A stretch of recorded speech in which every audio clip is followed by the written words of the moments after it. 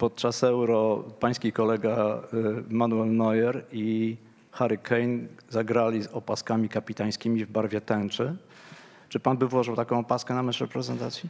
I jeśli chodzi o paskę e, kapitana, oczywiście są jakieś, ja nie, nie znam, bo wiem, że były jakieś tam później po wystąpieniach e, chyba Manuela Neuera jakieś ale, tak? Nie wiem dokładnie o co chodziło, ale myślę, że z tym e, nie miałbym problemu i e, jakby najbardziej tutaj pod tym względem trzeba My jako społeczeństwo, jako osoby, każdy z nas jest człowiekiem, każdy z nas ma emocje, każdy z nas jest osobą, którą, którą warto i trzeba wspierać, więc pod tym względem myślę, że dla mnie nie byłoby z tym większego problemu.